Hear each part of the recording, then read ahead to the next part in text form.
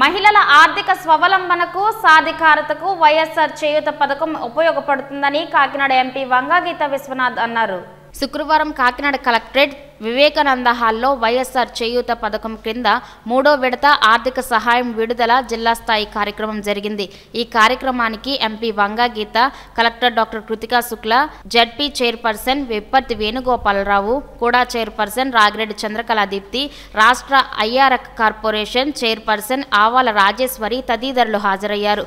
ముఖ్యమంత్రి వైఎస్ జగన్మోహన్ రెడ్డి కుప్పంలో వైఎస్ఆర్ చేయూత పథకం క్రింద నలభై ఐదు నుండి అరవై ఏళ్ళ మధ్య వయసు గల అర్హులైన ఎస్సీ ఎస్టీ బీసీ మైనారిటీ వర్గాల మహిళలకు మూడో విడత ఆర్థిక సహాయాన్ని బటన్ నొక్కి ఖాతాల్లో జమ చేసిన అనంతరం MP Vanga Geetha collector doctor Krithika Shukla ZP chairperson Vipparthi Venugopalarao ప్రజాప్రతినిధులు అధికారులతో కలిసి జిల్లాలోని లబ్ధిదారులకు మెగా చెక్ అందించారు. ఈ సందర్భంగా ఎంపీ వంగగీత మాట్లాడుతూ కాకినాడ జిల్లాలో వైఎస్ఆర్ చేయూత మూడో విడత కార్యక్రమం ద్వారా లక్ష రెండు వేల మూడు వందల ముప్పై ఐదు మంది లబ్ధిదారులకు నూట తొంభై ఒక్క కోట్ల ఎనభై ఎనిమిది లక్షల మేర ఆర్థిక సహాయం అందుతున్నట్లు వెల్లడించారు. వైఎస్ఆర్ చేయూత పథకం ద్వారా మహిళలకు అందుతున్న ఆర్థిక సహాయాన్ని సద్వినియోగం చేసుకుని కుటుంబాలను ఉన్నతంగా తీర్చిదిద్దుకోవాలని కార్యక్రమం సందర్భంగా కలెక్టర్ డాక్టర్ కృతికా శుక్లా సూచించారు.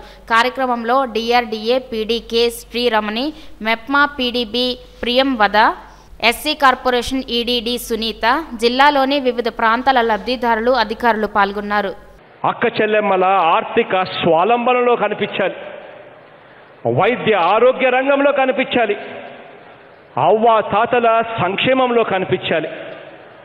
ఇలా అడుగడుగున కుటుంబానికి ప్రతి కుటుంబానికి అండగా తోడుగా ఉండి ప్రభుత్వం మీ బిడ్డది అని చెప్పి సందర్భంగా సవినయంగా సగర్వంగా తెలియజేస్తా ఉన్నా.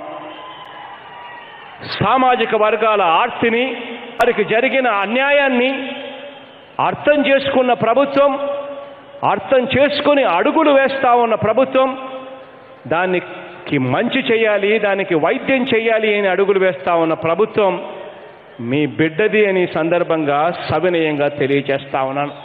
నా అక్క చెల్లెమ్మలకు స్వాలంబన రావాలి ప్రతి అడుగులోనూ నా అక్క చెల్లెమ్మలు బాగుపడాలి అని చెప్పి తపన పడతా ఉన్న ఒక అన్న ఒక తమ్ముడి మంచి మనసు. ఇది ప్రభుత్వంలో కనిపిస్తుంది. ఇంకా మంచి చేసే పరిస్థితులు రావాలని కోరుకుంటూ మీ అందరి చిక్కటి చిరునవ్వులకు ఆప్యాయతలకు మరొక్కసారి శిరస్సు వంచి పేరు పేరున హృదయపూర్వకంగా కృతజ్ఞతలు తెలుపుకుంటూ సెలవు తీసుకుంటాం.